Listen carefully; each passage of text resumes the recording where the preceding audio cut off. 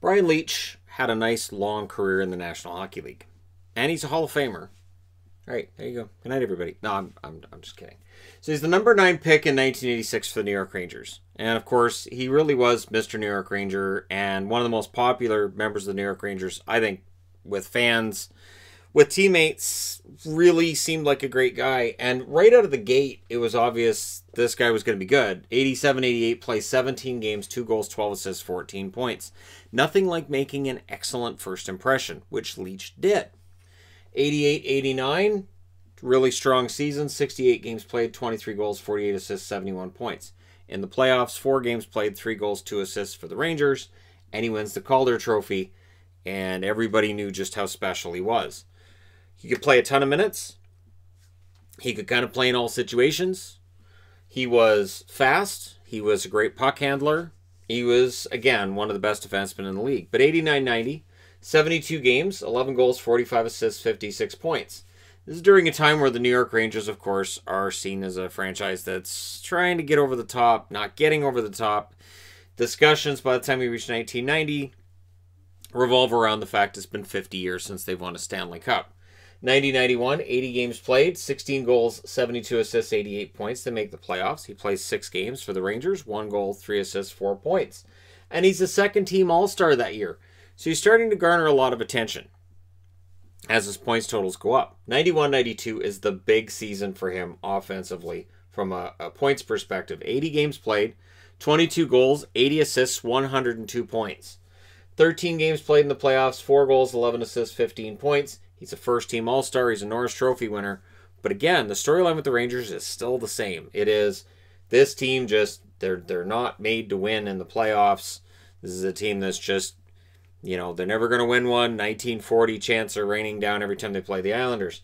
92 93, 36 games played, 6 goals, 30 assists, 36 points. So he misses more than half the season.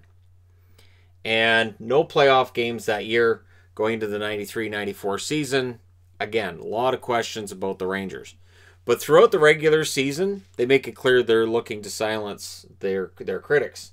And Brian Leetch is a huge part of that. 84 games played. He sets a career high in goals with 23, 56 assists, 79 points. In the playoffs, he's a beast. 23 games, 11 goals, 23 assists, 34 points.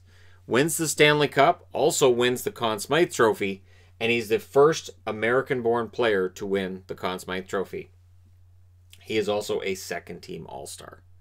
So the New York Rangers, they win that thrilling game seven over the Vancouver Canucks in a series that was far closer than it probably should have been. Uh, the Rangers probably should have finished it in five, but didn't. And so Vancouver lived to, to fight another day in game six and, and then game seven, but the Rangers would eventually win that cup. And Leetch's role in that Stanley Cup win made him a legend in New York. Same for Mark Messier. Same for um, Richter, Graves. Number of guys on that team became pretty much legends with the New York Rangers. There's a reason why the organization will uh, do remembrance nights for the 94 cup winners. And it's not just, you know, this is our one cup win since 1940. It is, this was a, a, a team that really came together and had a legendary season. 94 95, the legend kind of gets dinged up a bit. 48 games played, so he doesn't miss a game. 9 goals, 32 assists, 41 points. In the playoffs, 10 games played, 6 goals, 8 assists, 14 points. And it was just, it was a crash from the Rangers. But understandable. This was a lockout shortened season. And it is hard to win back to back championships. But the Rangers haven't given up on winning another one. 95 96, 82 games, 15 goals, 70 assists, 85 points. But in the playoffs, only 11 games played, 1 goal, 6 assists, 7 points. So he's a second team All Star, the same as he had been in 93 94 when they won the Stanley Cup. But the frustration with the Rangers is really starting up. Lots and lots of player movement, lots of trades, trades in, trades out, and mortgaging the future often in favor of the present. Totally understandable considering the age of some of the players in this core, but it had to be frustrating to Rangers fans as well.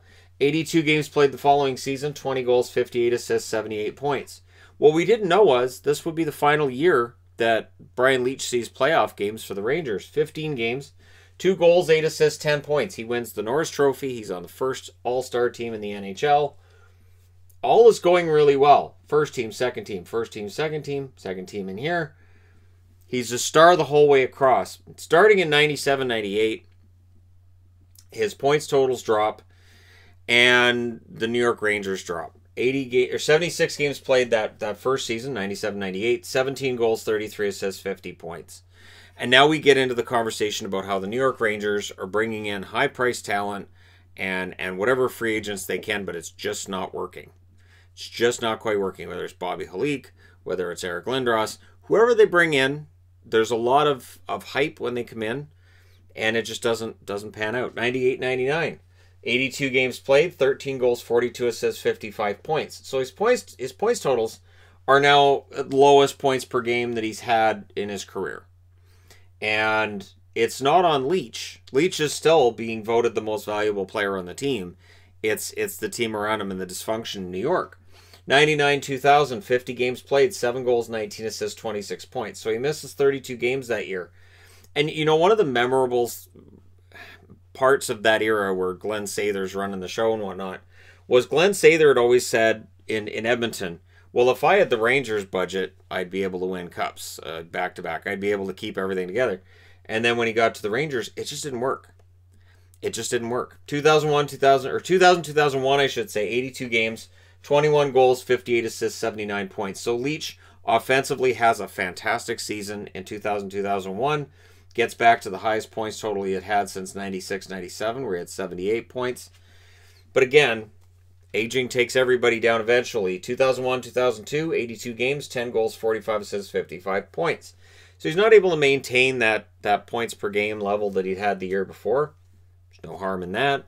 2002 2003, 51 games, 12 goals, 18 assists, and 30 points.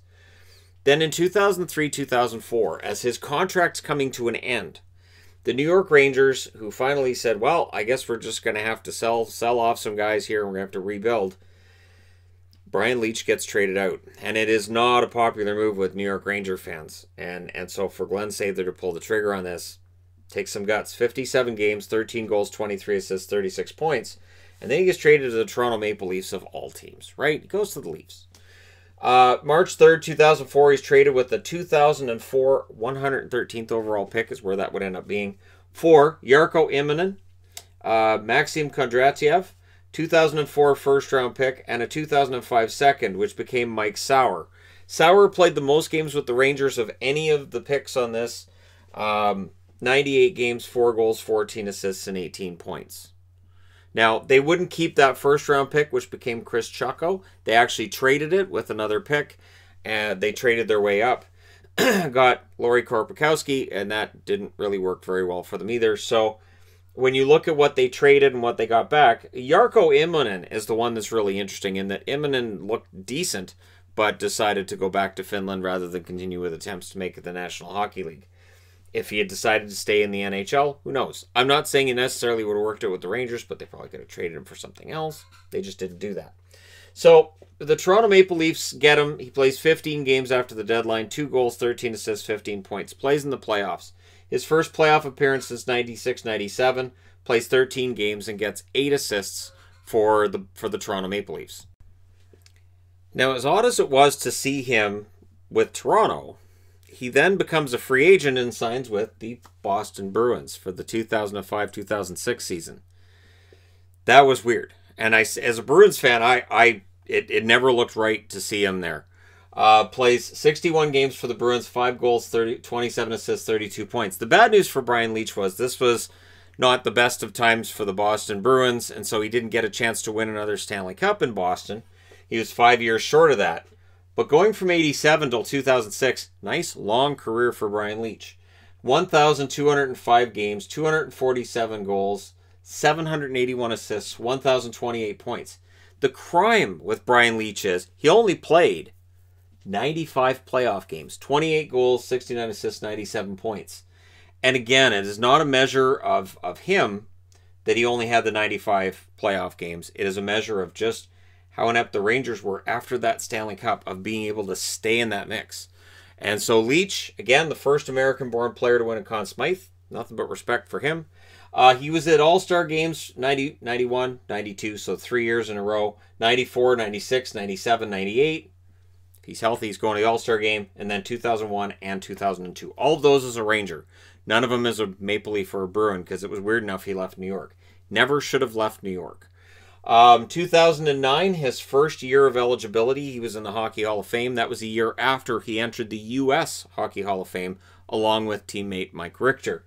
2002, he wins an Olympic silver medal for Team USA. And he was a large part of the reason that going into 2002, I thought, yeah, the, the Americans could absolutely win themselves a gold medal here. But famously, they came up just short in 2002.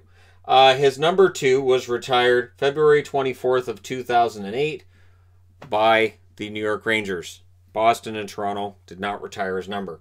So he played for three teams in his career, all of them original six teams, but really he was he was a Ranger. He only had 15 regular season games as a Leaf, 61 regular season games as a Bruin, and he should have been a New York Ranger his entire career. I understand why they traded him at the time. I understand, you know, the cost cutting they were trying to do at that point, but uh, it was it was a shame. It was an absolute shame that he didn't play his entire career in New York. But hey, that happens. Uh, whether it's Alfredsson who didn't retire as a member of the Sens or uh, Modano didn't retire as a member of the Stars, these things happen. Let me know your thoughts in the comment section below, as always, regarding Brian Leetch. Uh, his place amongst American defensemen was the best of all time. I would say probably, but let me know your thoughts. Hit like and subscribe if you're browsing your way through. You just happened upon this video. Thank you guys so much for watching, for all your support. I will talk to you again soon.